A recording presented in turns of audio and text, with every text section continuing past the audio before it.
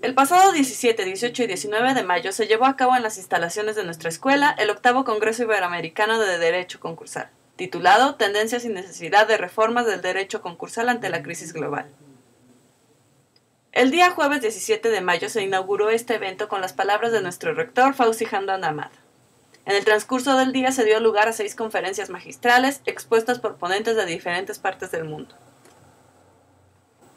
El día viernes 18 de mayo contamos con la presencia del presidente de la República, Felipe Calderón Hinojosa, quien nos compartió algunas palabras.